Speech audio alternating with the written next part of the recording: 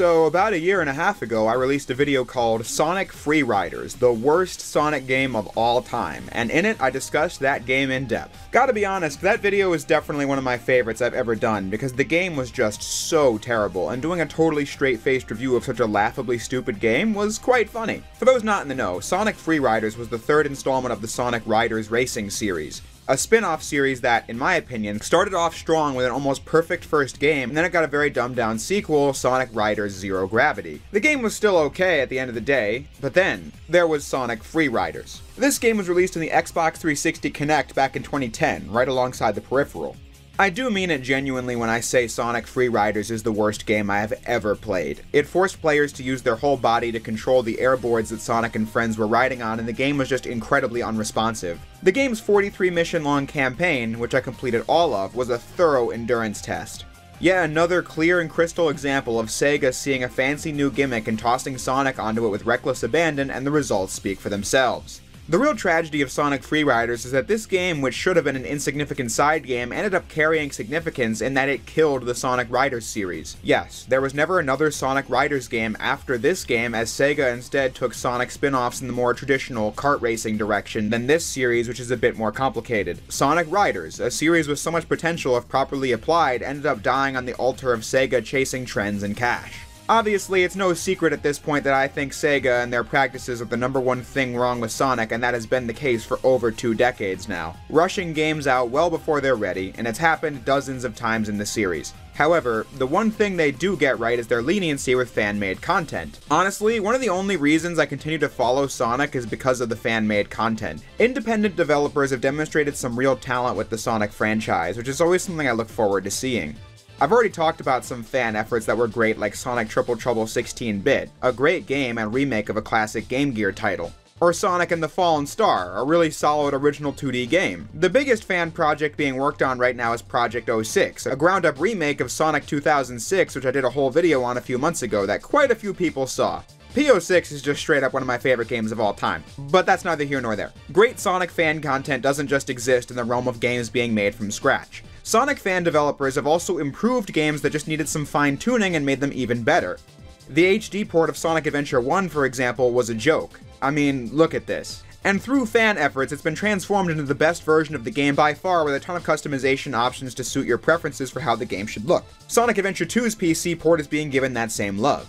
Sonic Heroes has visual mods and control adjustment mods for PC, there's a mod for Shadow the Hedgehog on PC called Shadow Reloaded from Limbless Vector that alters a lot of the things about Shadow the Hedgehog to make it a more palatable game. The shelf life of Sonic Generations was extended further than it already was with stage mods. Sonic Forces is getting newly designed levels to maximize the potential of that game, and the list goes on. Sonic fan games and mods are the lifeblood of the series for me, and that even goes for the Sonic Riders games. I've talked about some of these before.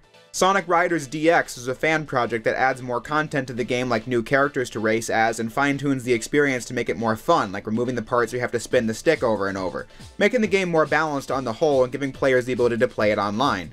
Sonic Riders Zero Gravity also got a neat fan project called Regravitified, which made some balance changes to that game and has net play, though I'm still not particularly taken by that game at its core. But you get the idea. Sonic fan projects improving existing games are in abundance, and this circles us back to the topic of the video, Sonic Free Riders. The one thing people always said about this game was that, man, if there was just an option to play this game with a controller, it wouldn't have been so bad and Sonic Riders might not have died.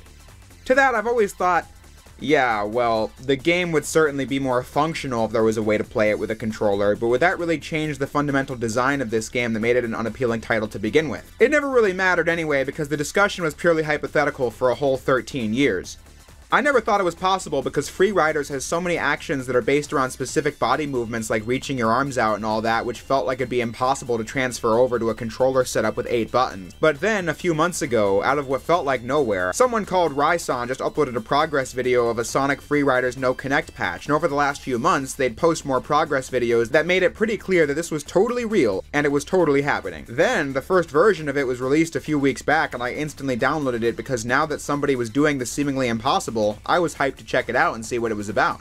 If you want to try it yourself, I'll leave a link to the release video in the description. The official Freeriders mod Discord server has all the tutorials you need to get it up and running. The Cliff Notes version is that you can play the patch in either the Xbox 360 emulator, Xenia, or you can patch it into a real Xbox 360. I did the former approach. You have to access the files of the game, of which there are legal ways to do if you own a copy of the game, but if you would rather sail the seven seas for the game, you'll have to figure that out on your own. But from there, follow the tutorials that they have and you'll be in business. Given everything I just said, starting this discussion with how Freeriders plays seems logical. The install folder comes with a control list that you should definitely look at to become familiar with how to play. But if you've played any of the previous Riders games, it should feel pretty similar. The X button boosts, but you have to hold and release to replicate the function of kicking the air for a boost that the original game had. A is how you charge and jump off of ramps instead of squatting and jumping.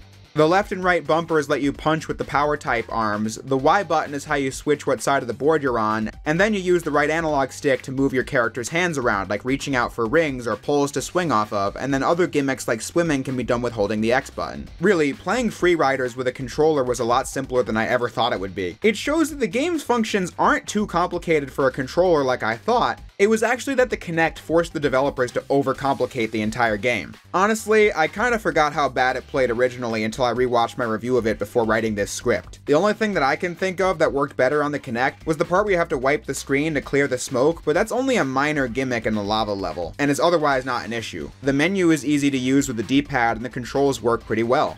When you first boot it up, you might find that the turning is a little wide, but if you go into the config file, you can turn on the calibration mode in the game. And then by doing nothing but holding the stick forward in calibration mode prior to every race, you'll make the controls smoother. Don't ask me how that works, it just does. Look, I know what it is, I don't know how it does it.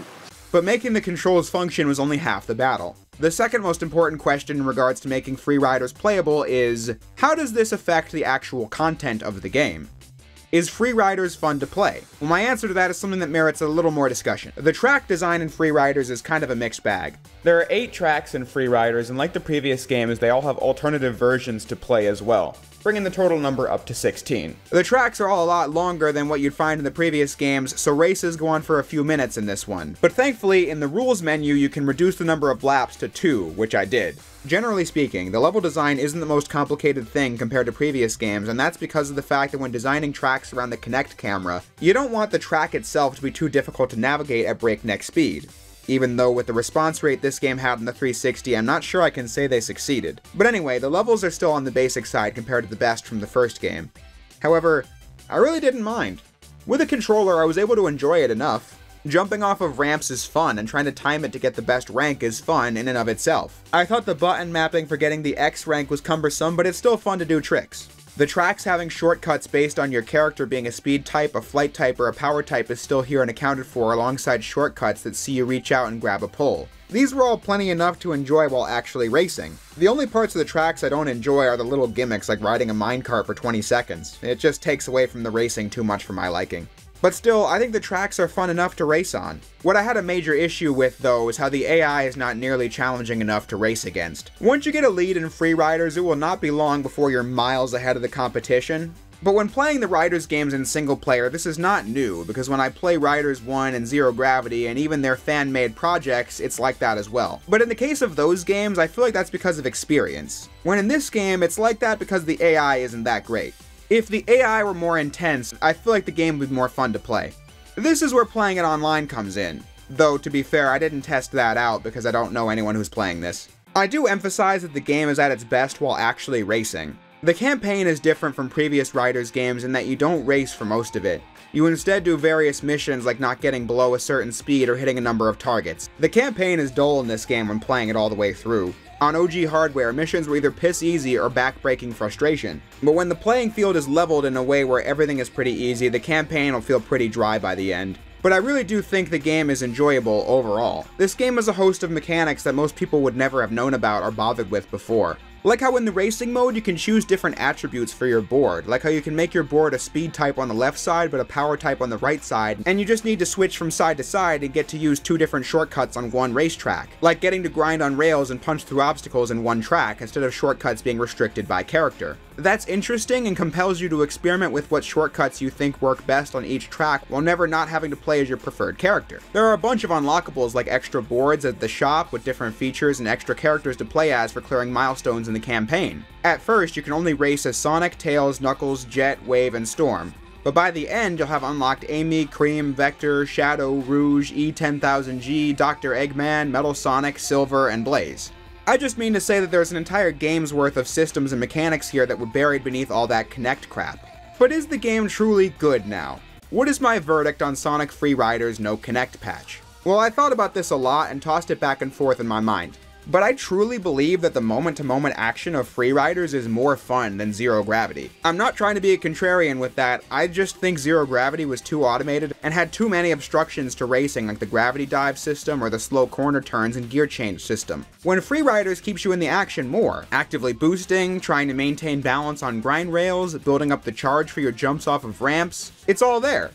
If I was asked to play all the tracks in this game or Zero Gravity, I'd think I'd have to pick Free Riders. However, when assessing both games in their totality, I think they're roughly equal in my mind. Zero Gravity just loses a bunch of points because of what it did to the mechanics of Sonic Riders, however, it gains many points because of how well it executes the Riders' style. The first game established that these were going to be sick, futuristic racing games. Zero Gravity in every stage capitalized on that premise visually the tracks in their secondary versions also feeling more distinct than the first game and Free Riders. Zero Gravity just feeling cooler with its music, its artwork, and its menus. Free Riders, by comparison, doesn't have much of that Riders style. Visuals are pretty below the bar, locations are bog standard, the cutscenes are awful and low budget, so it loses points on all those things and the little things it gets wrong like tracks being kind of simple and the game being pretty easy. At the end of the day, neither game remotely comes close to Riders 1, which is a near perfect racing game for me which is the ultimate tragedy of the Riders series, and it peaking right out of the gate.